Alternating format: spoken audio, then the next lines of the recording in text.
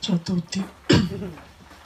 Io vengo, vengo da Palermo, vengo, vengo in pace, anzi, anzi, vengo contento proprio perché, perché io sono un amico di Antonio da un po' di tempo.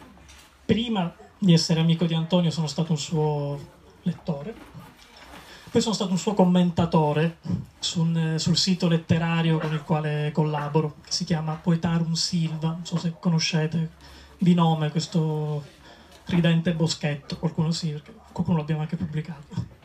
Poi sono stato anche presentatore di Antonio un anno fa eh, a Palermo, quando però il libro era ancora eh, in buona parte inedito. Ma che tu conoscevi? Ma che io conoscevo naturalmente, perché Antonio mi aveva passato il resto, però appunto eh, questo è un giorno comunque diciamo così di festa perché sono giorni di festa perché si è realizzato, si è concretizzato un libro a cui teniamo in tanti e di cui abbiamo percepito comunque subito eh, l'importanza, il valore e, e, l'originalità. E poi è anche bello che si sia concretizzato bene, proprio in, anche proprio in un bell'oggetto eh, piccolo, con questa copertina ruvida, bella da tenere, insomma. Io ho la mia copia, l'ho mandata a Antonio un po' di giorni fa, insomma. sono contento, quindi quindi ora vale la pena veramente, ora che il libro è tutto insieme, ragionarci ancora. Allora, non, è, non, occorre che io vi spieghi cosa sia Etnapolis, suppongo, mentre a Palermo ho dovuto fare la, la premessa, qui, qui, lo salto. Ehm, e, e, per dire che eh, probabilmente, forse è vero quello che diceva, che hanno detto in tanti, che diceva un critico in particolare, che cioè... Eh, non che, tut- che, gli autori scrivano alla fine un solo libro, ma è vero che hanno eh, delle figure ossessive che riportano poi a dei miti personali. Mm? Un sistema di figure che riporta un sistema di miti, ma insomma che c'è qualcosa che, ha, che è dalla parte del, dell'idiosincrasia di un autore e ne fa poi la, la, la tessitura poetica. Allora, per quanto riguarda Antonio, io direi che questo, è, questo insieme di figure, e lo dico non solo alla luce di, di Sweet Etnapolis. Ah, metto le mani avanti o sbaglierò probabilmente l'accento, perché a volte to- dico Etnapolis, quindi mi capiterà inavvertitamente. A Palermo ho alternato, senza, senza un criterio, però Etnapolis. Non dico soltanto alla luce di Sweet Etnapolis, ma anche alla luce poi degli inediti successivi di Antonio. Ecco, direi che sicuramente il mito personale di Antonio e le figure ossessive di Antonio riguardano eh, il mondo del lavoro. Girano tutte intorno eh, al, al, mondo del lavoro. E, ehm, effettivamente quello che ci viene raccontato in questa, in questa, narrazione in versi, come è stato detto, è in gran parte eh, un, un, insieme di storie che si intrecciano, sono le storie di questi lavoratori e lavoratrici di Etnapolis che si ritrovano insomma in condizioni deprivate un po' di tutto, di tempo, di sonno, di, di sogni, eccetera, eccetera. Quindi si può dire che questa grande idea perché io davvero mi, ero, mi sono appassionata al libro prima di leggerlo, che l'idea che qualcuno avesse voluto dedicare un poema a, dire, a, un mostro contemporaneo, dico mostro anche in senso etimologico, come è un ipermercato, mi, sembra, mi sembrava una grande idea, e già questo non è poco.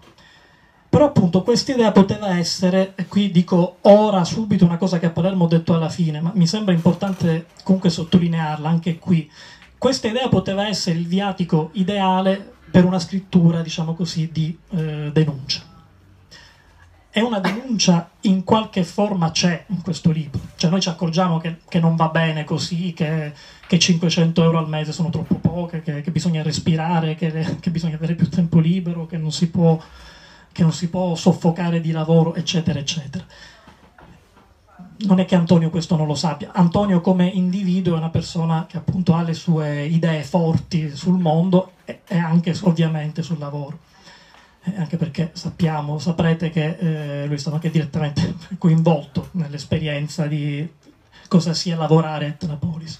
Però quello che voglio dire è che poi è come se la forza e la bellezza della scrittura di Antonio avessero preso un po' eh, la mano fino a portarlo a rappresentare, a metterci davanti agli occhi una qualche inspiegabile ma irresistibile bellezza, perfino del mostro commerciale, al punto che comunque si creava e si crea nell'arco di tutto il libro un rapporto, che è un rapporto comunque di conflitto ma anche di equilibrio tra l'ideologia e la scrittura e quindi direi anche tra la critica e la fascinazione nei confronti di quel mondo. Si, sbaglia, si sbaglierebbe a dare a questo libro semplicemente l'etichetta di un libro di denuncia di qualche, in nome di una qualche emozione anticapitalistica, ma proprio perché se ne leggerebbe soltanto eh, una faccia, una faccia di questo libro che invece ha una ricchezza che è fatta anche di una straordinaria ambiguità, proprio in, in questo senso che dico.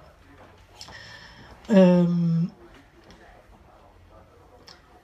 quindi io direi che a quel punto il mostro commerciale diventa forse anche il traslato di qualcosa di più ampio, che potremmo, possiamo dire magari il nostro eh, comune universale imbestiarci, no? come dice Antonio, lo dice proprio lui con termine dantesco nel suo libro, della, di una qualche comunque fatica di sopravvivenza quotidiana che riguarda tutti anche, anche al di fuori anche al di fuori di un, di un, ipermercato, pur mantenendo fermo ovviamente il dato realistico che resta comunque la grande idea di questo libro e poi ovviamente avveratasi nella, nella realizzazione.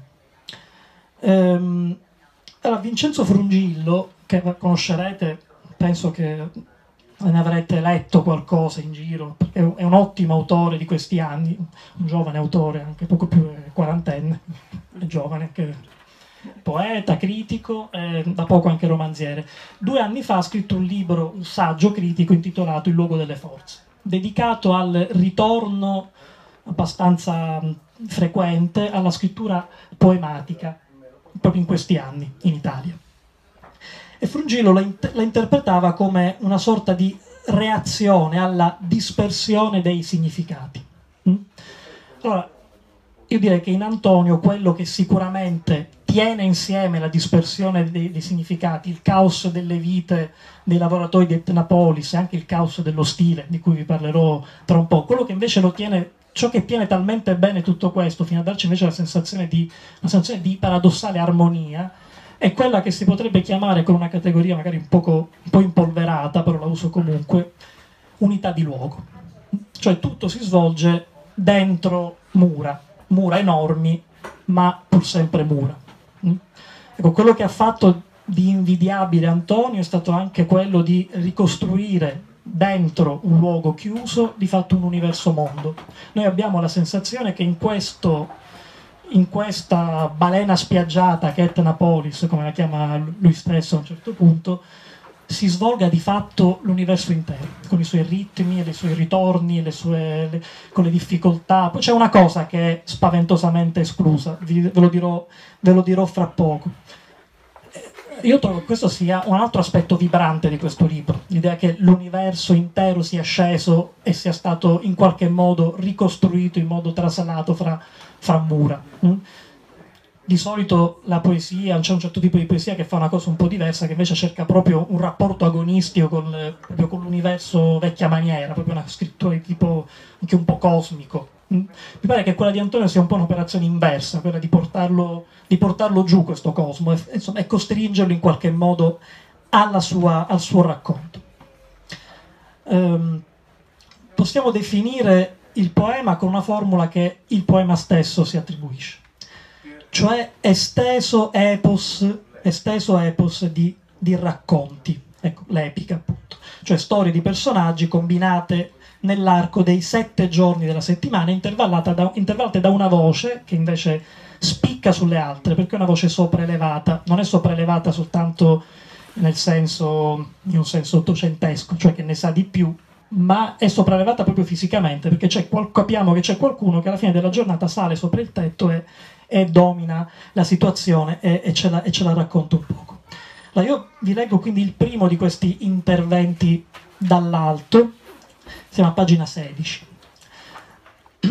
Dalla terrazza da cui solo mi sporgo, il paesaggio sembra quasi bucolico.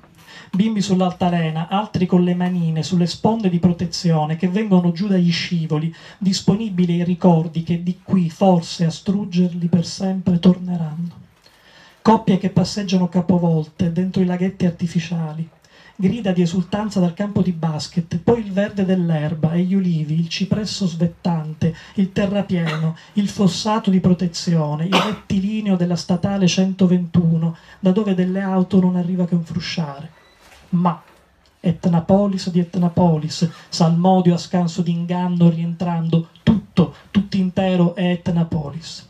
Estenuato lo speaker annuncia: Attenzione, la signora Longhitano Maria è attesa dal marito all'ingresso del cinema. Ripeto, mentre si abbassano le saracinesche, comincia la conta del profitto. Ora, io non so se avete. Io ho avuto questa sensazione non alla prima lettura, l'ho avuta in letture successive. Cioè l'idea che Antonio in questo passaggio e poi anche in altri stia facendo anche, anche del cinema. Io ho proprio la sensazione che Antonio stia muovendo una, una camera e e ci dia proprio alcuni effetti che sono, possiamo intenderli come cinematografici. Forse bisognerebbe fare un lavoro però con criteri rigorosi, che detta così è solo un'impressione, sulla sintassi cinematografica della scrittura di Antonio. Qui per esempio c'è, eh, c'è l'effetto di un inganno ottico, no? noi vediamo passeggiare capovolte le persone, in realtà stiamo guardando il loro riflesso che passeggia ci sono questi bambini in quei due o tre versi bellissimi, commoventi, che già si stanno preparando ai ricordi che un giorno verranno a struggerli. Questo, se vogliamo, è in qualche modo come una. potrebbe essere in dissolvenza la preparazione di un flashback. E, e tra l'altro, Antonio non sempre ci dà il senso, l'informazione meglio del tempo che passa, anzi, ce ne dà il senso attraverso i giochi di luce. Anche questo è fotografico e cinematografico come effetto. Ne ho selezionato qualcuno, tutti, tutti ravvicinati. Cucine domenicali in cui il cielo entra a allungarsi sul tavolo, che ricorda molto l'inizio della canzone d'amore di Alfred Pruchuk, no? Con il, la sera che si stende sul cielo come un paziente anestetizzato sul tavolo. Vedremo, Eliot è un autore che pulsa molto in questo libro, vedremo poi qualcosa di più preciso. È un attimo, ai corrimani annerisce lo smalto, per un diffuso blackout i negozi si oscurano come lastre, ectoplasmatica sbianca la merce, la merce. Ce le dici le pagine? Ah sì, sono bre- pezzi, pezzi, brevi per quello dicevo. Ok. Uh, 12? Mm-hmm. 12. No, no, no, non è 12, aspetta un attimo. 14. No, ma è proprio breve breve. Raggela in risposta alla luce sui palazzi di via Etnea. No, questo era per farvi per darvi conto di questa sensazione, ma anche per dire sarete d'accordo già, con me già da queste poche cose che avete sentito che la conta del profitto, anzi no, il profitto non è più soltanto quello di chi fa il bilancio Etnapolis, io direi che qui il profitto sia quello di chi scrive e anche quello di chi legge. Sto dicendo che non è più l'indignazione che tiene da sola a banco. Insomma, è evidente che c'è anche altro in gioco e forse dell'indignazione, per fortuna, ce ne dimentichiamo anche in certi momenti e ci godiamo invece uno straordinario mondo ricreato da Antonio che parla non soltanto, non soltanto di Tenapolis. Allora, i personaggi, eh, ve ne dico qualcuno, sono storie eh, per lo più comuni, con le complicazioni eh, quotidiane, insomma, più o meno quotidiane, quindi nascite imminenti, ricordi di lutti, amori più o meno infelici. Ce n'è forse una che porta un po' più di pathos nella storia e poi si risolve, infatti, che è un caso di stalking subito da Laura di Lovable. Okay, quindi noi seguiamo anche lo svolgimento di, questo, di, di questa piccola narrazione eh, criminale. Poi c'è un barista, Alfredo, che sta per diventare padre, c'è una coppia, Cinzia e Samuele, di cui vedremo, c'è una guardia giurata, eccetera, eccetera. È una lingua, eh, quella di Antonio, per certi aspetti miracolosa. Io ho letto una critica in cui lo si accusava di non aver usato abbastanza in termini di escursione stilistica. Cioè, io non so come potesse fare più di così, forse, forse solo una bestemmia mancava. Cioè, io credo che invece Antonio giochi in un modo straordinario, andando con questo ascensore che va dall'alto al basso continuamente in modo quasi, eh, senza quasi gradazione, da una parte all'altra. Eh, strappi, interferenze, cambi di voce, pluristilistica e pluri, pluritonale. Ehm, di questa voce polifonica vi avevo detto che c'è quella c'è quella anonima c'è quella anonima che ci dà un po' la, il resoconto finale a sera, e poi c'è anche quella invece meccanica, autofer- autoreferenziale e persecutoria, che è quella dello stesso ipermercato. La voce che conosciamo tutti perché è uguale in qualunque ipermercato del mondo. Invitiamo tutto il personale ad ultimare le operazioni. Allora, io quando l'ho sentita, l'ho letta, ho subito poi anche qui pensato ad Eliot, a quel refrain che nella Terra Desolata, se vi ricordate, spinge gli avventori di un pub a, insomma, a sbrigare, a, a, ultimare il bicchiere, a togliersi dai piedi. Insomma. Ecco, questa voce martellante e persecutoria scandisce anche, anche, il tempo di, anche il tempo di Etnapolis. La terra desolata è stata tirata in ballo tante volte eh, anche da Guido Mazzoni, insomma, quindi probabilmente è più di una, di una suggestione. Però eh, diciamo che le, i confronti è utile farli, forse è ancora più utile farli per contrasto, per scoprire qualcosa in più sull'autore di cui si parla.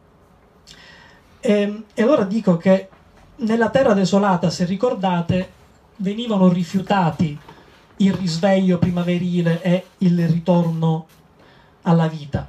Mm?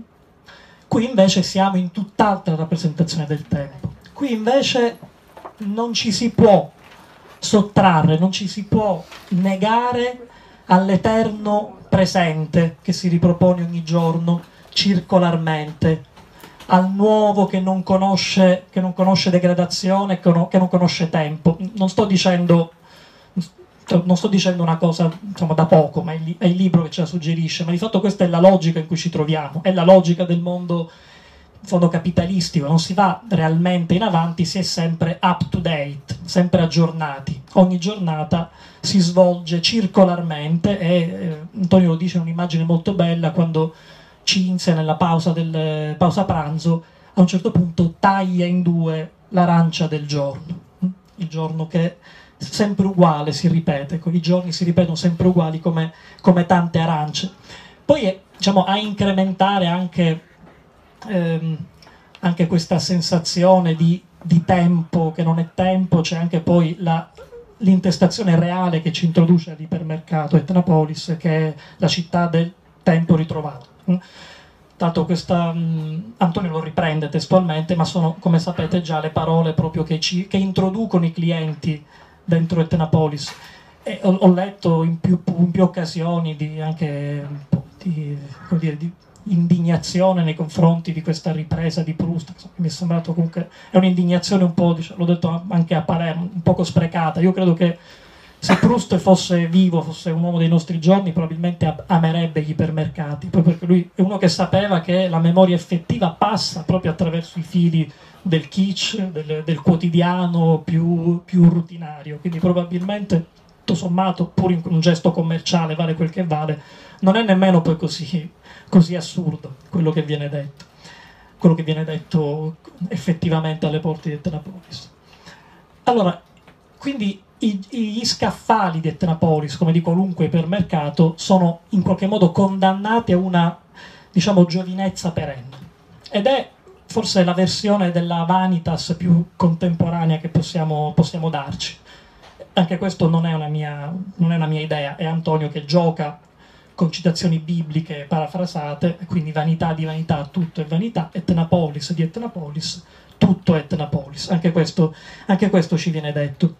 Quindi viviamo di fatto eh, dentro un ecosistema del tutto eh, artificiale, dentro cui abbiamo la sensazione di effettivamente di trovarci alle prese con un universo autonomo, però c'è una grande rimozione, appunto lo avevo poco fa annunciato, questo grande rimosso è sicuramente la morte. Non è ammessa la morte dentro Etnapolis.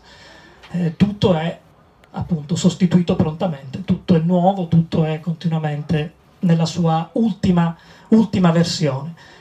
E a portare il turbamento della morte dentro le mura di Etnapolis sono i personaggi, perché non, possono, non riescono a distaccarsi dalle loro vite e loro con la morte non hanno avuto a che fare in modo più o meno diretto, come tutti noi. Alfredo in particolare ha due lutti molto, molto gravi e molto tristi, molto tristi alle spalle. E poi c'è anche un'altra grande trovata che ha a che fare con questo rifiuto della morte. Eh, quando Cinzia e Samuele vanno, eh, vanno al lavoro la mattina, ci viene detto più volte, lungo la strada vedono ai bordi eh, un paesaggio disseminato di cani, per lo più morti, cioè cani che hanno fallito l'attraversamento. Mm?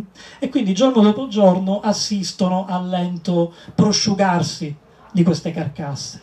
Oltre che essere un dato realistico splendido, dico splendido ovviamente a condizione che, si, che, che poi si, lo si eh, trapassi dentro la poesia, ovviamente. Ehm, anche una, ha anche una grande forza figurale questa immagine, perché effettivamente la morte è tutto intorno a Etnapolis, si raggruma in carcasse di cane, ma dentro Etnapolis non può, non deve arrivare. Vi leggo solo uno di questi passaggi dei cani che sono, sono molto forti.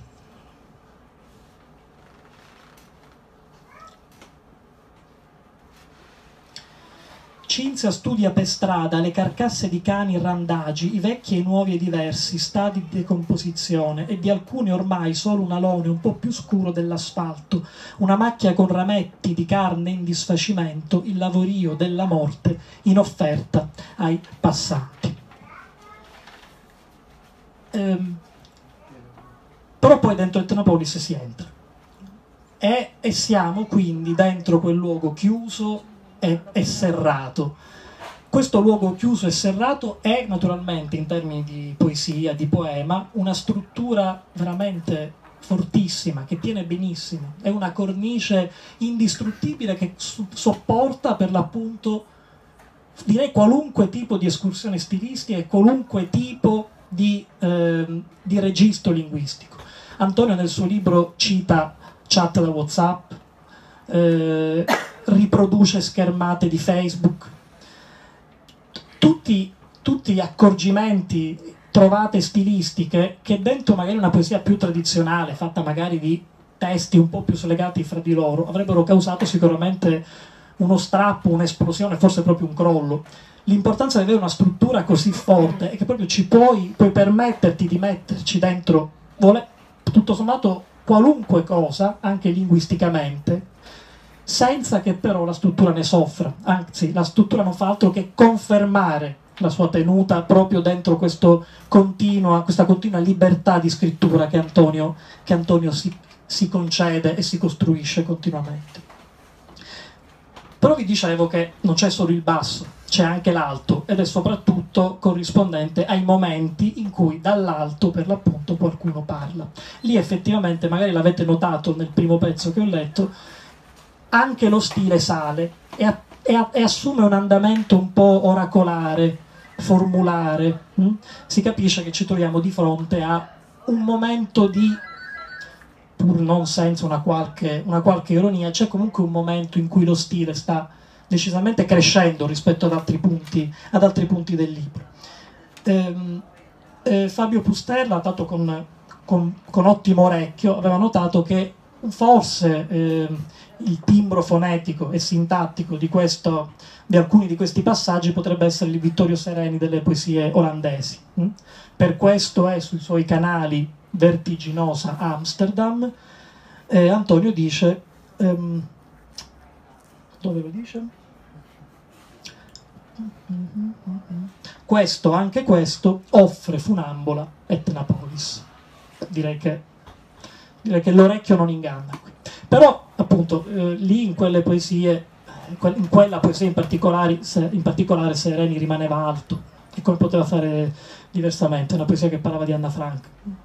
Antonio invece subito ripiomba nel basso più, più dimesso. Mm? Lo dice l'io lirico sopralevato che, che, fa un po' quindi da cantore di questo, dell'ipermercato, lo dice piacciati entrare nel mio canto tutta intera, le luci, quindi l'alto, come l'immondo, il basso. Il basso in particolare è sicuramente eh, l'appuntamento giornaliero con l'escrementizio delle, delle silenziose. Mm? Questa è una delle poesie più famose del libro perché ha circolato da sola, perché ha una sua autonomia rispetto ad altre parti. Le silenziose sono nient'altro che, anzi no, nient'altro al contrario, sono le, le signore in camice che ero, eroicamente tutti i giorni fanno questo lavoro poco invidiabile, Etnapolis come, eh, come, come altrove. Come altrove. E, e, Antonio naturalmente ne, le racconta con grande pietas, le racconta proprio in termini di capita a tutti di ritornare magari alla fine di una giornata che è andata un po' storta e dire ma come ho fatto, come ho fatto a, rovinarmela così? Ecco, immaginate la stessa sensazione prolungata sull'arco della vita. Antonio ci dà questa, questa idea attraverso una metafora bellissima di un tuffo sbagliato di pancia che poi produce schizzi incresciosi. Un'immagine grandissima che appunto dice, dice, ma non ideologicamente, ancora una volta, ma tramite figure il dolore di stare lì dentro, di fare il lavoro sbagliato e la vita sbagliata, ma guardate che comunque già nel raccontarlo così, queste silenziose sono già state fortemente riprese, sono già state fortemente da Antonio riscattate. Ecco, non dimentichiamo sempre questo doppio gioco, doppio gioco ambivalente. Poi Antonio le chiama a un certo punto indurite madonne.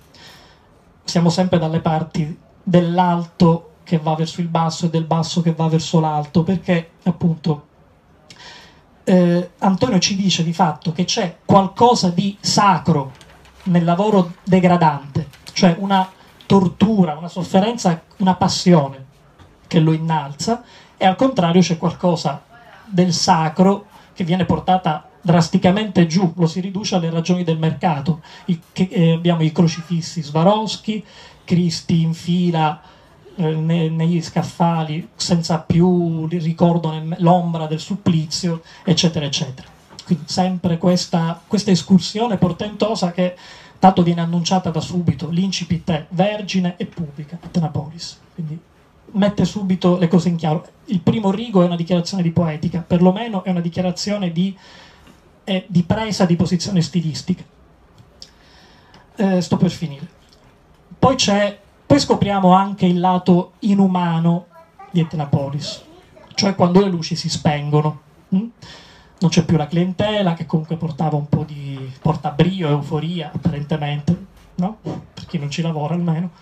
Ehm, ed è la visione quindi di Nuccio, la guardia giurata di Etnapolis chiusa eh, al pubblico.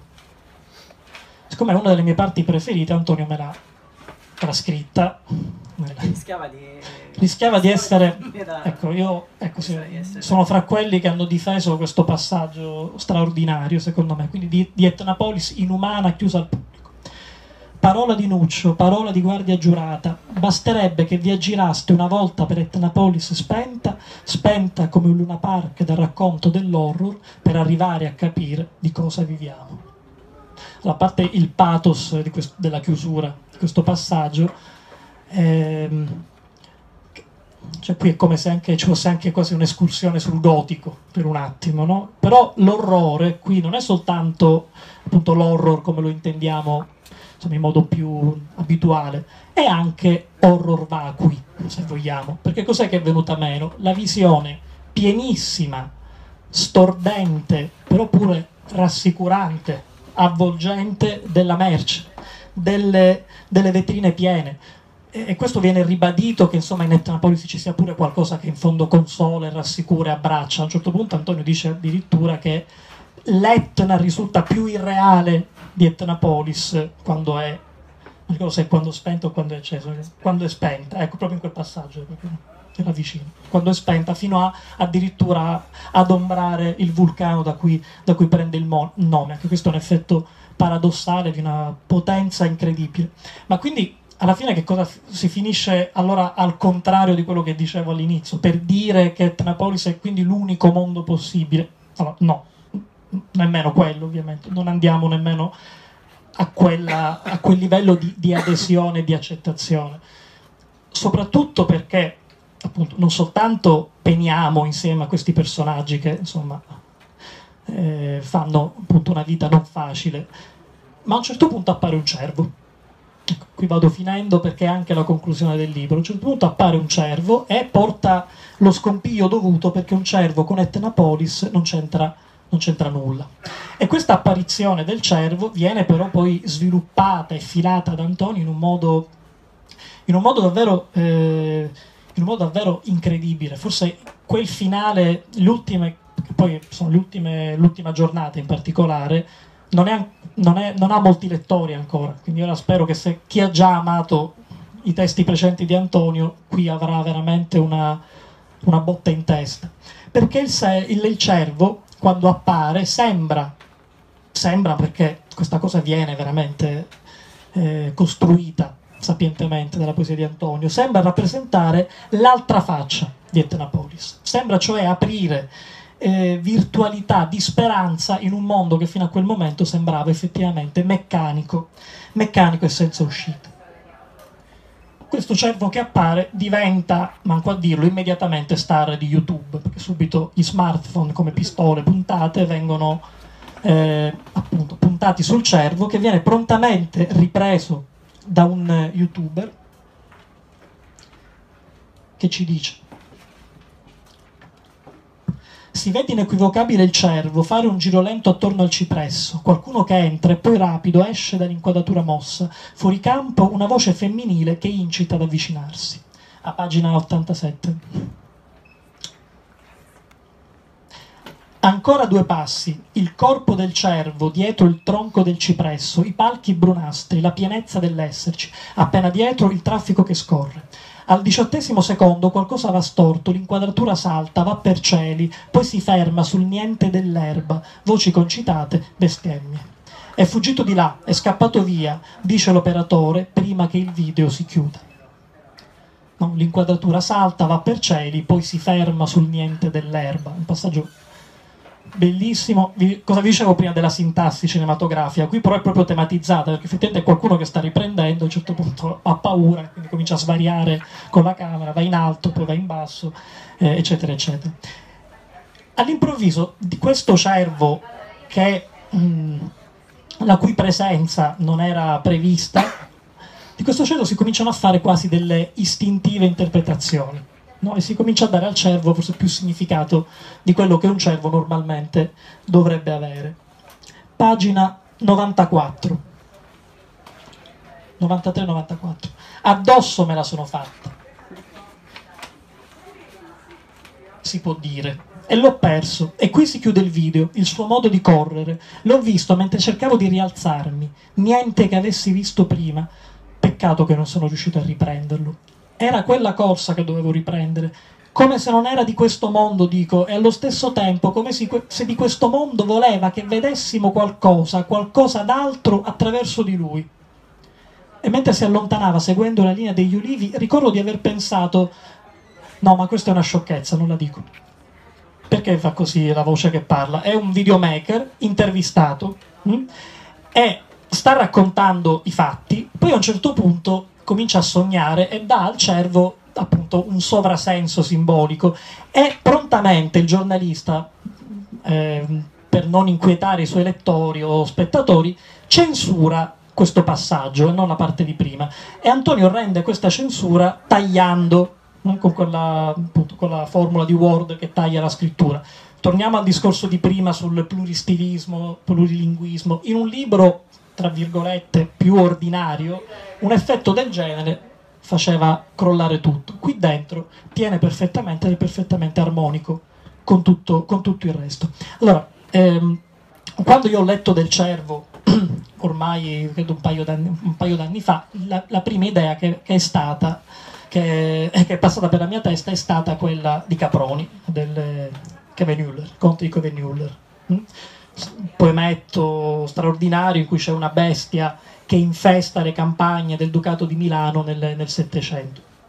Sicuramente qualcosa ha agito, però è vero che con Caproni siamo in piena allegoria. Caproni chiaramente sta giocando a quello, l'attesa di una qualche epifania anche, anche religiosa, anche anche metafisica che si dà e subito, subito, fugge, quindi non si dà mai una volta e per tutte. Però Antonio fino a quel momento ci aveva raccontato un mondo allucinato ma del tutto realistico. Quindi io leggendo questa, queste parti dicevo ma a che gioco sta giocando questo, questo autore? Dove, dove, ci vuole, dove ci vuole portare qua sul finale?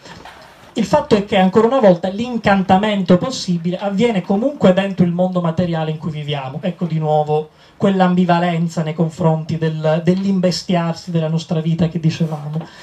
E quindi io raramente ho sentito nei confronti del, lavoro, del mondo del lavoro tanta risentita, però al tempo stesso inevitabile adesione. Nella ragazza Carla, che è sicuramente un capolavoro alle spalle di questo libro, però appunto forse questa ambivalenza è meno forte, forse questa ambivalenza anche perché appunto non, eh, siamo forse meno dentro, meno dentro quella vita.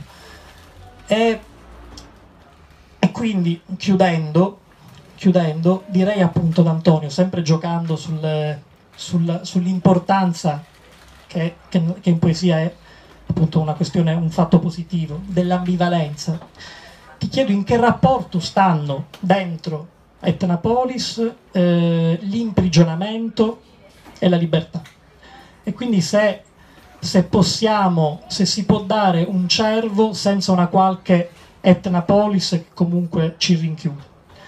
E quindi ti chiedo se poi questa dialettica tra eh, prigionia eh, e libertà che ruolo ha questa dialettica anche nello stesso esercizio tecnico e pratico della tua, della tua scrittura?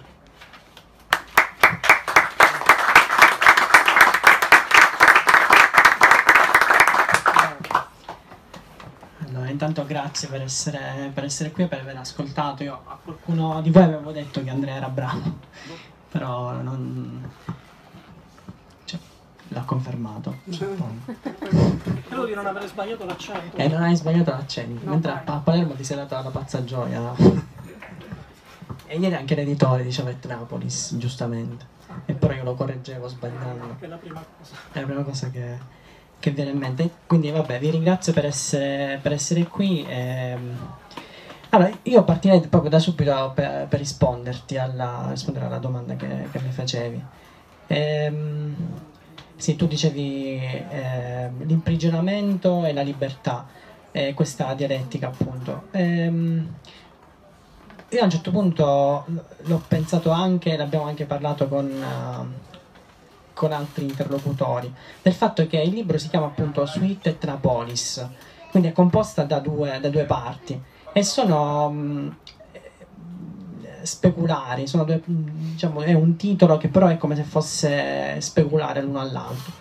Perché Sweet, mia, da quando poi ho pensato di scrivere il libro, era già da subito il titolo eh, che avrebbe dovuto avere il libro. E, e per me Sweet appunto è il, il riferimento al termine musicale, no? Eh, lungi da me dal capirne qualcosa di, di, di musica, soprattutto di musica di, diciamo, di secoli addietro, però per me il, term- il, termine suite era un termine appunto musicale ma eh, rimodulato dal rock progressivo. Poco fa parlavamo eh, di Consturiale, di, dei, dei, dei, Pink Floyd, no? quindi il mio riferimento era molto pop, molto, molto rock con il termine suite. E cos'era la suite? La suite è una, un componimento musicale lungo, suddiviso magari in, in delle parti, eh, attraversate da, da, da, un senso, da, da un tema, ma modulato eh, attraverso variazioni, eh, possono essere 3-4. E appunto, ehm, la prima parte del titolo fa riferimento appunto nella, nella, nell'ambito semantico della variazione, della molteplicità, eh, della, dello sviluppo, eh, dico sviluppo progressivo della narrazione. Eh, mentre l'altro termine, trapolis, è, appunto era la voce, auto, la voce, automatica, la voce meccanica, la voce, cioè il, un riferimento sempre uguale a se stesso. No? Eh, il, mi sono scelto il tema, che era un tema rigido, cioè aveva confini certi, come dico anche in una poesia.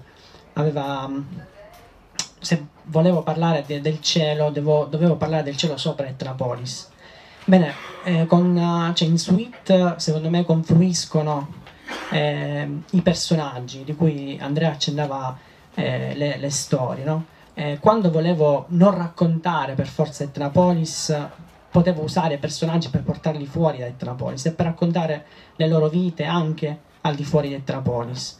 Andrea non, non, l'ha specificato, però questi personaggi appunto vivono all'interno del centro commerciale, eh, li racconto all'interno del centro commerciale, ma per il principio della variazione di cui parlavo prima, questi personaggi a un certo punto escono fuori dal centro commerciale eh, vivono le loro vite fuori dal centro commerciale. Poco fa, appunto, tu dicevi quando eh, vanno verso Etnapoli si incontrano, per esempio, Cinzia e Samuele i cani, i cani morti. No?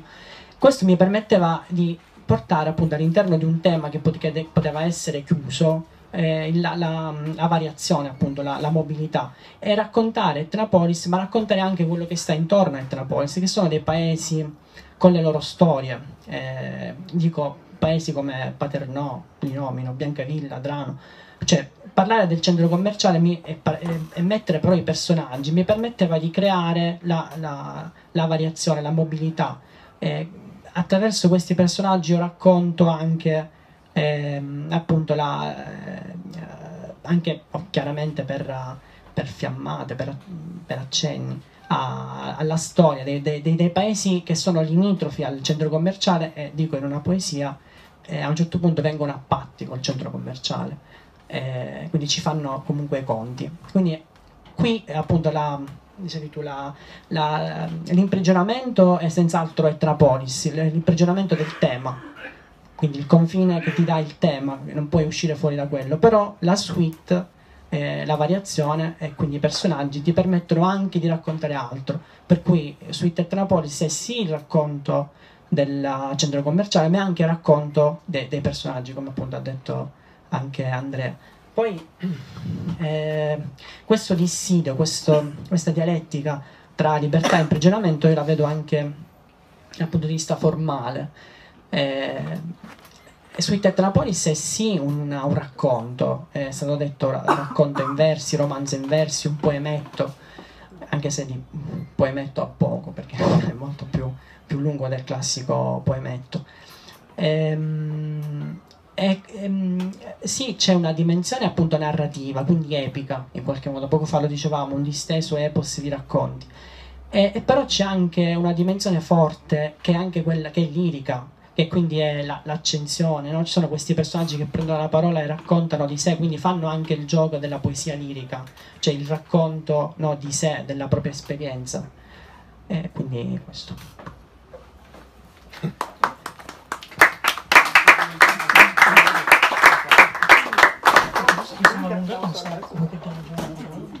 Che ore sono? Scusate che io... 7 10.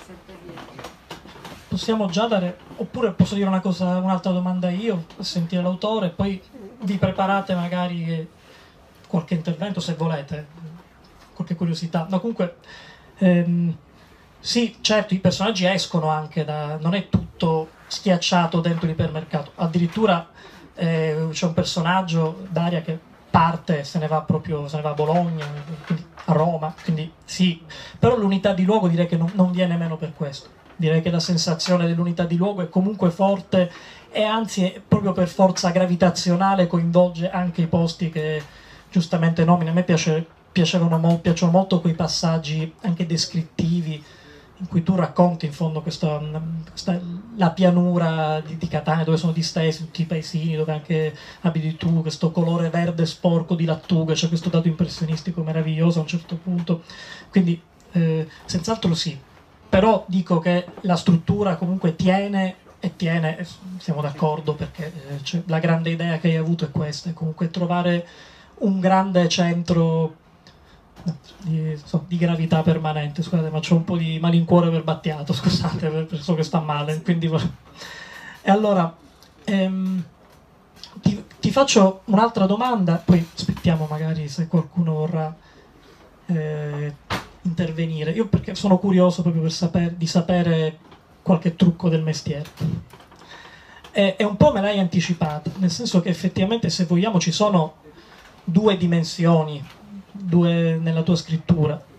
C'è una dimensione più propriamente, eh, diciamo così, verticale, che tende quindi all'addensamento, al, alla, alla, all'accumularsi di immagini, e diciamo con una parola facile che è una dimensione più propriamente lirica, quindi che tende allo spazio ristretto e alla densità. Poi c'è una dimensione invece orizzontale e distesa, che dà movimento invece a tutto il resto, che, rende, che coinvolge anche quei pezzi di lirica, che è una dimensione direi a questo punto diciamo pure epica, fatta di narratività fatta di, di personaggi, di vite, di storie che ci vengono rese a volte con piccoli tocchi che però bastano a dare veramente rotondità e, e pienezza a queste vite, non abbiamo la sensazione che ci manchino dei dettagli. Effettivamente noi di questi personaggi sappiamo quello che ci serve, quello che ci serve. E, e allora, eh, visto che giocare su due tavoli non è facile, probabilmente la cosa più immediata per chi si cimenta a scrivere poesia, un po' per tutti, è, è, la verticalità, appunto, presto dentro e presto fuori. Un progetto ad ampio, ad ampio respiro è per definizione più, direi più impegnativo. Appunto, entrando nel tuo laboratorio, mi, mi, piacerebbe capire come sono nati questi personaggi, ma proprio in termini di, di appunti, di costruzione graduale, se c'erano appunto c'erano già dei personaggi che ti perseguitavano da tempo e altri che si sono aggiunti dopo e si sono agganciati, insomma com'è che si è popolato questo, questo ipermercato più o meno fittizio? Allora sì, ehm, intanto appunto eh, Sweet Tetrapolis è stato un libro che ho scritto in due anni, in due anni di, di scrittura eh, continuativa e eh, giornaliera, eh, forsennata. E, e, quindi già questo, anche questo, secondo me, dà anche la, la dimensione, anche una diversità rispetto ad altri, ad altri, modi di approcciarsi alla poesia, che chiaramente anche è stato e sarà, suppongo, anche il, il mio, cioè quello della, dell'ispirazione che, ti, ti, impone di appuntarti il verso e poi lavorarci magari successivamente. E quindi due anni di scrittura la, dal 2013 al 2015, poi sono passati un po' di anni da, da, da lì alla, alla, pubblicazione in effetti, anche se è stata eh, giustamente dislocata in vari, varie, varie uscite. Eh, dicevo, ehm, allora, quando eh, adesso ci riflettevo mentre facevi la domanda, cioè mentre quando scrivevo di Etnapolis, nel senso quando il tema forte, eh, centrale eh, di Etnapolis con, col, eh, so, gli avventori, con eh, tutto quello che, che, mano a mano mi veniva in mente quando ho pensato di scrivere sulla, sul libro, mentre quella, quella parte su Etnapolis eh, mi veniva facile anche da scrivere. La, la, la, parte più difficile, ma questo veramente ci sto pensando adesso mentre me lo dici, è appunto scrivere dei personaggi. Lì era molto più tosta, perché in realtà io avevo, questo sì da, da, da scrittore, forse più che da poeta, eh, avevo mh, appuntato, intanto l'idea iniziale era quella di, raccontare Tenapolis, ma da un unico eh, fulcro, cioè da, c'era un unico personaggio che doveva un po' fare da collante eh, alla, a, al centro commerciale, quindi raccontare il centro commerciale attraverso un solo personaggio, che poi tra l'altro era un personaggio che era pericolosamente, spaventosamente vicino alla, al mio io, cioè era quel personaggio che, che, fa, che fa, il commesso in una, in una libreria. E poi subito dopo ho capito che, che non mi bastava ehm, ra- raccontare eh, il centro commerciale attraverso una sola voce, che avevo bisogno di più voci per dire tante cose, perché è vero che, che un personaggio mi permetteva di dire alcune cose, ma c'erano moltissime altre cose che potevano essere dette che se, avessi, se mi fossi accontentato di una, di, un, di una, sola visione non avrei potuto affrontare. Dicevo, la, la, la scrittura è stata eh, appunto appuntarsi intanto l'emergere di questi personaggi, alcuni immediatamente vicini e come dicevo c'è un personaggio che è come dire, molto vicino al mio io biografico e altri eh, molto lontani eh, dalla, anche da, da, quello che effettivamente, cioè dalle persone che effettivamente conoscevo, non c'è un solo personaggio che possa dirsi effettivamente un personaggio, cioè una persona realmente esistita che, che realmente ha lavorato, ha lavorato lì. La costruzione è stata eh, appunto graduale, ma appunto con, con, appuntandomi le varie cose che dovevano eh, per raccontare quella data storia, che ovviamente è una, una, una storia minima, non potevo, cioè non, non, avendo gli strumenti e la, la, la, voglia di scrivere un romanzo, non potevo eh, avere a disposizione molte pagine, molte cose da dire, quindi dovevo lavorare a, a togliere eh, però per dare allo stesso tempo, quindi non appesantire neanche la, la, narrazione, quindi la poesia, e dare però allo stesso tempo l'impressione di sono sette giorni, l'impressione che i personaggi in quei sette giorni comunque subissero una metamorfosi, una metamorfosi qualsiasi, quindi comunque che avessero una storia. Molto ho lavorato chiaramente a togliere, quando il dato era necessario ma tutto sommato cancellabile ho preferito cancellare per esempio. Quindi, quindi questo.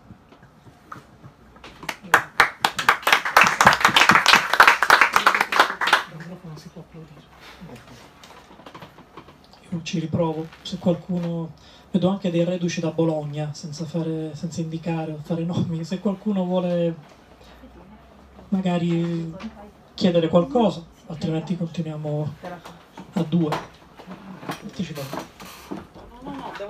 Non è una domanda? Sono stata incaricata dalla signora Lanza di fare una cosa. Io volevo fare una domanda. Ah, certo. Avete parlato dell'aspetto cinematografico, della... No, però anche a voce così perché tanto ci sentiamo, io c'ho una cosa abbastanza...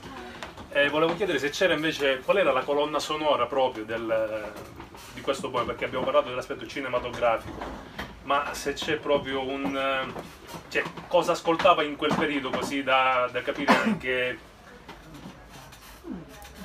C'è la risposta che dici? Sì, sì, vai. rispondere io. non lo so. Sì, sì, infatti eh, potresti, ma non...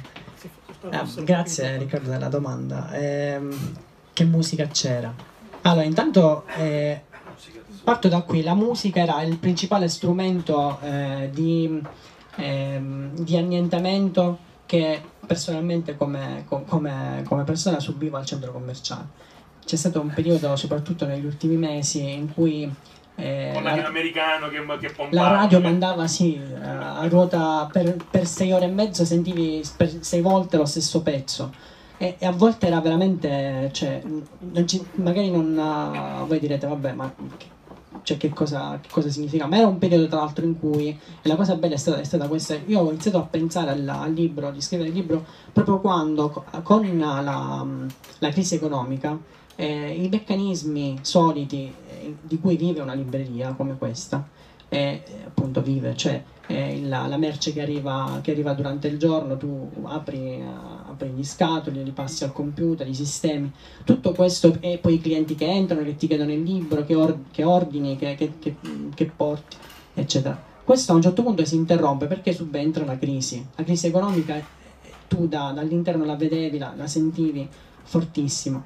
E quindi quando questo meccanismo di lavoro continuo, e magari la- quando il lavoro è continuo, non, non ti- cioè non- non riesci a capire cosa realmente ti sta schiacciando. Quando però sei costretto, perché c'è stato un periodo in cui eh, facevamo, eravamo presenti in libreria, ma fondamentalmente non facevamo nulla per motivi, appunto, come ti ho detto, eh, di, di crisi e di eh, mancate consegne da parte dei corrieri, eccetera.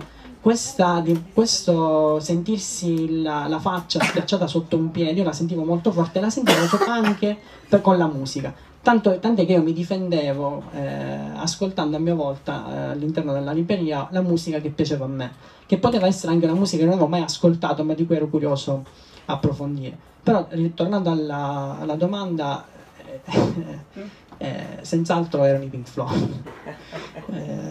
Eh, E in particolare, diciamo, quale... in particolare era Quale The Wall. album? Era The Wall, ne parlavamo poco fa anche con, con Sturiale, sì.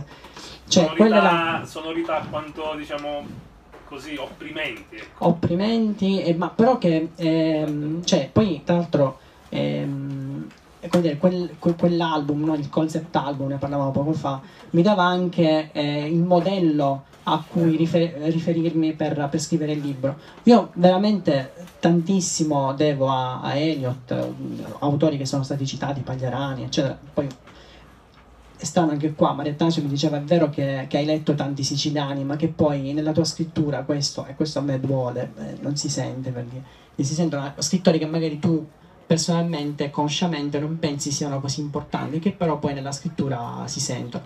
Ma è anche vero che c'erano i Pink Floyd, c'era quella dimensione appunto eh, anche narrativa che, che ha- hanno Sì, album sì. come, come The Wall. E da lì appunto da strutturare il libro come se fosse una narrazione.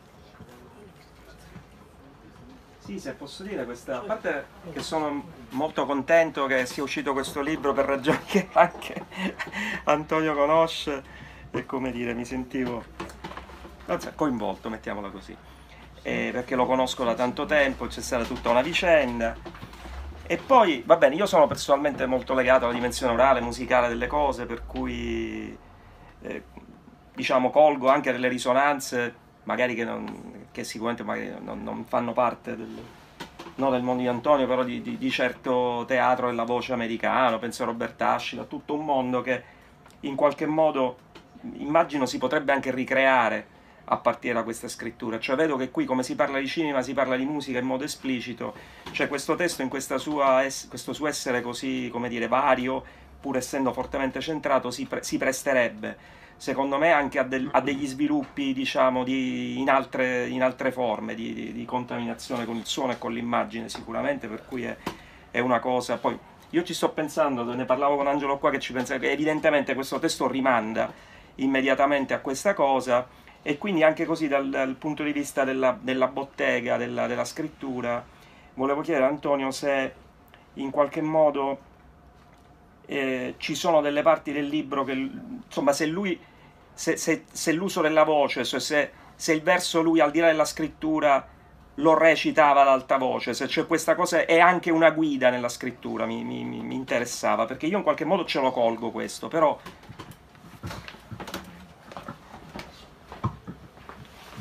grazie a Biagio. Eh, sì, sì, sì, c'è come, eh, e anzi c'è in una dimensione diversa e eh, inedita rispetto a quello che a quando avevo scritto in precedenza rispetto a Etnapolis. Sì, comunque c'è anche la, eh, una ricerca, eh, cioè mentre scrivevo, eh, come un po' hai capito, intuito tu, provavo a dire, le, a dire, le, parole. Per la prima volta eh, nella mia eh, carriera di, di, di, scrivente sentivo che, che, le parole eh, suonavano, che avevano il loro senso e il fatto che quelle parole dovessero stare lì. Poi tra l'altro, ancora tornando ai Pink Floyd, mi viene in mente anche questa cosa, come la musica può anche dettarti il tempo della scrittura. Eh, quando dovevo scrivere un pezzo, eh, io li chiamavo pezzi perché avevo questa scaletta in cui a un certo punto dicevo devo, devo fare il pezzo su molto così banalmente. E, um, a un certo punto volevo, scrivere un pezzo che fosse che avesse un ritmo più serrato più, più duro. E lì per esempio mi, mi hanno aiutato mi ha aiutato molto a ascoltare anche qua i Pink Floyd ma su, da un altro album e sentire ossessivamente un pezzo perché poi in qualche modo volevo replicarlo con la scrittura e volevo che quelle che le parole eh, in questione suonassero con quel ritmo con cui io sentivo il, il pezzo che stavo, che stavo ascoltando. E volevo leggere anche qualcosa, visto che forse Giuseppe mi dice questa parte è fondamentale che sì sì. Se c'era anche un pezzo. Ecco, per esempio c'è questo pezzo che eh, pagina sì, tra 80 e 81, cioè ultimo, ultimo verso di pagina 80 e seguente. Anche qua si cita, poi lo vedrete, una, eh, una cantante, Bonnie Tyler, che io non conoscevo, ma eh, a, a volte quando... Cioè, nei momenti di, di grazia Trapoli si riusciva a mandare anche dei pezzi che, che sembravano dare senso a, alle, alle, giornate eh, nostre eh, lì al centro commerciale. Volge in sera il pomeriggio, radente dalle porte scorrevoli a ovest entra il sole a accendere le vetrine dei primi negozi. Sfavilla con le centinaia di impronte di suole accumulate il pavimento di pietra lavica levigata. Un rossore tenero ammorbidisce sui volti i tratti più aspri. E per congiura manda pane più buono la radio. La voce roca di Bonnie Tyler che dichiara che è stato solo un gioco folle, nient'altro che un gioco folle. E a qualcuno dei distratti o dei commessi potrebbe persino avvenire di sentirsene punto, lì dove è più molle, non difeso da ossa, attende paziente il dolore di essere vivi. Poi volevo leggere anche il pezzo di cui cioè, non mi ricordo più dove possa essere perché ecco sì sì sì è un pezzo che avevo anche letto altre volte prima ancora di, appunto, che venisse pubblicato perché era uno dei miei è quello dove fa maschio e femmina, però adesso non ricordo. Fino alla fine. Eh, forse è qua venerdì. Pagina 73. Ecco, non lo conosci. Ok. Allora, questo, fa, questo pezzo era appunto eh, rimodulato su un pezzo dei Pink Floyd. Non vi dico qual è, così non potete stabilire il, il confronto. Maschio e femmina, Etnapolis, cazzo e buca, Etnapolis, bussola e catena, mestruo della domenica operosa, Etnapolis, mela e serpe dei McDrive a sera, spine e cardi, la spesa nei carrelli, polvere, Etnapolis dei gratta e vinci, nuvola a vuoto dell'euro. Tutti sogniamo un giorno la cioccolata, l'umana misura di ogni cosa arca e fogna Etnapolis, sudore ricacciato nella fronte Etnapolis, croste di volti nei corridoi. Più arredammo il vuoto e più il vuoto ci scappò di mano. Etnapolis dei cani sedati dietro le gabbie, dei canestri penzolanti, dei crani eccitati da musica e colore di merce.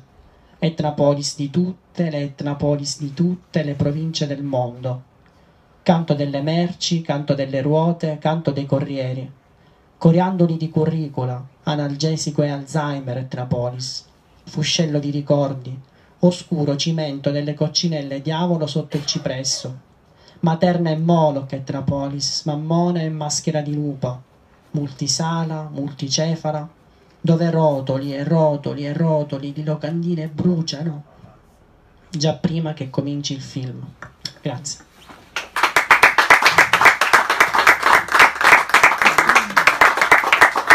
Se ci sono domande. Io ti volevo fare una domanda. Sì. In merito alla poesia come testimonianza. Cioè, come testimonianza di un mondo che senza la poesia non, non prenderebbe vita. Ecco, tu in qualche modo, parlando di Etnapolis, hai dato vita a, a Etnapolis, l'hai reso vero l'hai reso anche fonte di poesia. Ecco, questo volevo Eh, dire. intanto grazie per la... Eh,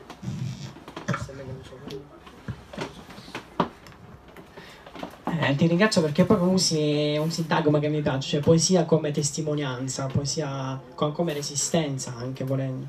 Sì, è una cosa...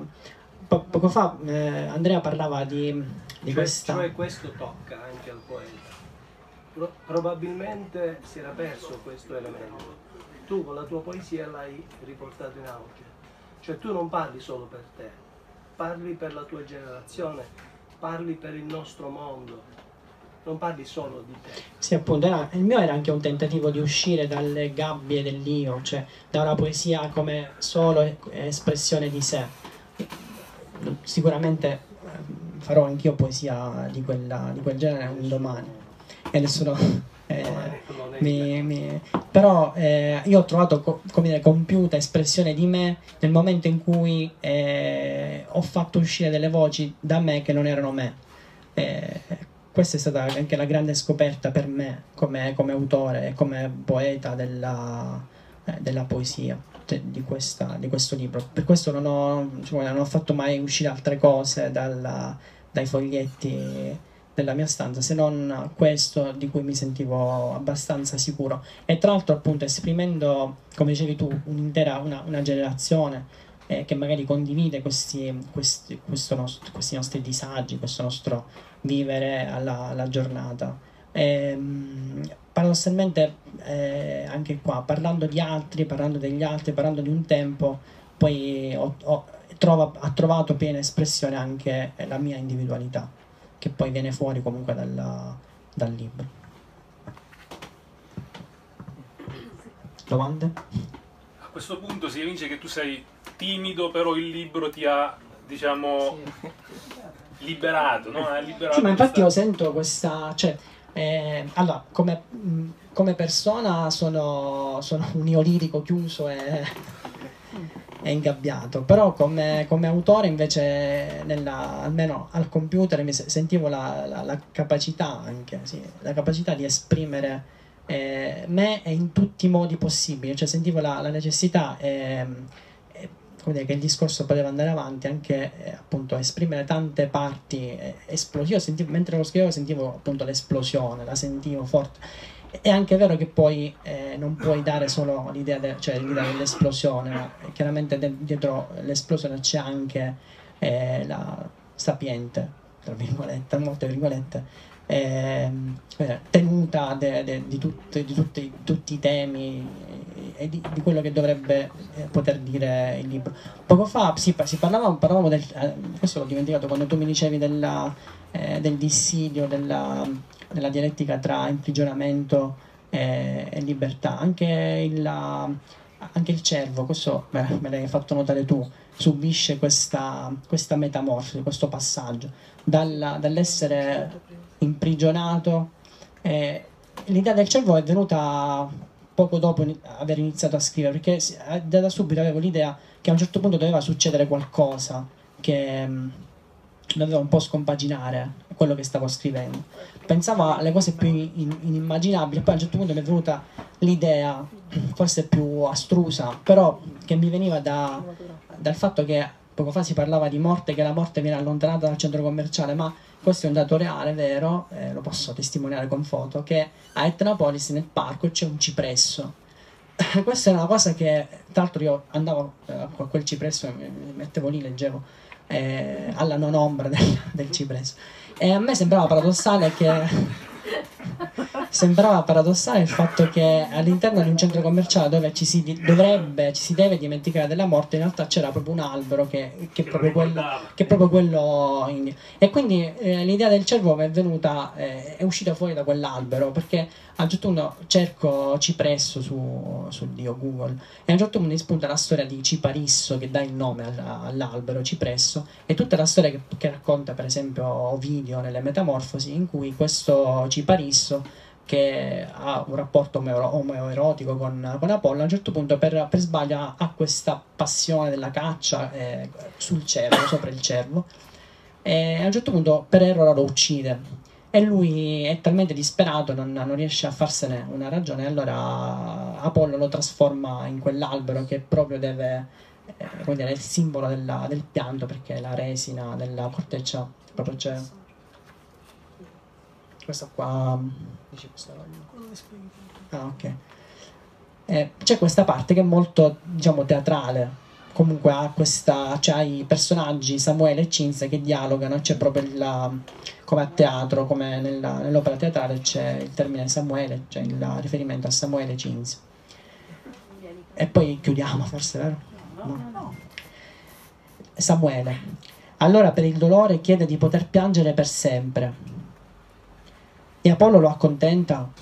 Apollo, anche a sforzarsi, non può capire tutto quel dolore per un cervo. È un dio, no? Non un uomo. E che ne sa un dio del dolore di un uomo? E poi ama Ciparisso. Certo, e vuole salvarlo, infatti ci prova a calmarlo, a fargli cambiare idea. E Ciparisso? Ostinato. E alla fine Apollo lo trasforma in un cipresso, la cui resina sul tronco forma gocce simili a lacrime, con una promessa, che sempre Apollo lo piangerà e sempre Ciparisso piangerà per tutti gli altri, insieme a chi soffre. E poi Cinzia dice, piange anche per noi allora. E Samuele risponde, è lì, guardalo. E diciamo a proposito del cervo, cioè la, la- quindi a un certo punto è venuta questa idea ed è nata dalla- dal fatto che c'è un cipresso lì. E allora dentro di me sono iniziate a, a nascere delle eh, metafore eh, che avevano a che fare col cervo. Quindi a un certo punto dico che la, la festa eh, si, si ingolfa, non- cioè la festa di Etnapolis non riesce a, a salire come le zampe di un cerbiatto, come, come, le, le- le zampe cerbiatte che prima cedevano e sdrucciolavano. Quindi comunque il cervo eh, inizia a essere metafora da, da subito, quindi la metafora della, di, di che non ce la fa stare in piedi, di una cosa che non, non riesce a stare in piedi. Poi diventa un cartellone pubblicitario, poi a un certo punto si accenna a qualcosa che ha a che vedere col cervo. Quindi questa tematica, anche qua come la musica, cioè eh, all'inizio c'è qualcosa, c'è un tema che ricorre, poi subito dopo lo, lo- lo risenti, poi lo, viene ri- riformulato e magari eh, viene svolto. E a un certo punto questo cervo veramente viene fuori, viene fuori in, come in carne e ossa, cioè io non ne faccio neanche un'apparizione miracolosa, quella è la lettura che magari qualcuno ne fa, eh, il cervo è un'apparizione miracolosa. Qualcuno dice ma sì, ma non può essere, cioè, non- chissà cosa avrei visto, non era un cervo. Però questo cervo in realtà è annunciato nel corso della- del libro, a un certo punto appunto spunta e spunta fuori da Etnapolis per mostrare a Etnapolis come se questo, come se questo cervo fosse l'occhio. Eh, cioè Etnapolis, cioè no- noi non vedremmo Etnapolis, poco fa tu mi chiedevi questo, esisterebbe il cervo se non ci fosse eh, un Etnapolis che lo... Eh, no, perché eh, il cervo è l'occhio di Etnapolis, cioè se noi avessimo solo Etnapolis vedremmo- non vedremmo Etnapolis, non ci, non ci faremmo neanche caso. Io, io stesso mentre ci lavoravo fino a un certo punto non badavo a, a quello che era il centro commerciale. A un certo punto però compare quest'occhio, l'occhio che restituisce. Poi tra l'altro è bello che la materia crea qualcosa che può vedere la materia, attra- attraverso cui la materia può essere vista. E quella, quella- questa visione, questo, questo specchio, anche, lo vedo anche come fosse uno specchio, ci- cioè Trapolis si vede, si vede per quello che è quando esiste un cervo che è tutt'altro che, che qualcosa di alto rispetto a Etnapolis e, ci mostra, ce lo mostra in, quel modo, cioè il cervo fa da specchio a Etnapolis e noi vediamo Etnapolis attraverso, finalmente attraverso il cervo. Io volevo, visto che si è parlato insomma in maniera quasi esplicita di, eh, di rapporto tra musica e, e, diciamo teatro, non so se sia stato in- intenzionale, ehm, infatti appunto volevo, volevo chiederti questo, a me eh, senza ancora aver letto oh, oh, questo libro oh, mi affascina eh, eh, la relazione con, col mondo del barocco. E a parte già eh, il titolo stesso, eh, suite, ho pensato immediatamente alla suite barocca, alla poetica dell'eccesso, della, della stravaganza, della, del, dell'horror vacui. E, mh, tutte tematiche eh, che ovviamente ehm, in qualche modo sono coerenti con la... mh, eh, con questa densità di scrittura immagino, non ho letto ma intravedo già, già dalle pagine questa densità, anche questa volontà tua eh, e necessità eh, nel tempo di ridurre, di togliere da questo, da questa, anche da, questa, eh, da questo eccesso. Prima eh, eh, parlavi di questa esplosione che un po' ov- ovviamente anche lì bisogna anche relazionarlo chissà a qualche cosa di vulcanico, parlando di Etna. Quindi ti chiedo, eh, hai eh, mh, contemporaneamente alla scrittura eh, d- di questo libro ehm, intenzionalmente mh, letto o eh, ti sei rivolto a un immaginario barocco? O questo si vince o lo vinciamo diciamo noi magari eh, perché ognuno ha un proprio mondo diciamo di risonanze che, che si mette in moto?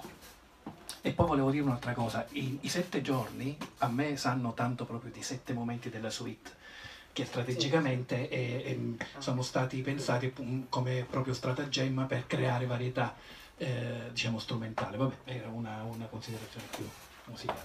Grazie. Faccio tutto, faccio il... Il balletto. Quando la libraia si aggira però casualmente... Sto cercando di... No, allora, non- certamente non c'è, eh, intenzionali- cioè non c'è intenzionalità. Poco fa infatti dicevo che eh, il termine suite io eh, lo mh, riducevo appunto alla- al termine eh, che è stato ripreso da- dal rock progressivo. Non so della... il rock progressivo chiaramente riprende qualcosa di molto più che appunto il, eh, la suite barocca, ma chiaramente non, non so nulla della, musicalmente della suite barocca, però eh, ti posso dire che evidentemente un, um, da qualche parte il barocco siciliano è, è anche una dimensione barocca della scrittura, che può essere quella di, di- per esempio di Bufalino, di Consolo. Ecco, allora a questo punto non, non è vero che, che gli scrittori siciliani non, non mi hanno eh, formato, non si vede nella pagina, forse è anche quello che, che ha dire, formato eh, la, la mia scrittura e certamente eh, quella dimensione appunto di, di variazione eh, però nella scrittura eh, mi, ha, mi ha segnato, sì. Sempre, sempre qualcuno, sempre, l'autore è sempre aperto alle domande. 8 meno 20, ora possiamo fare un...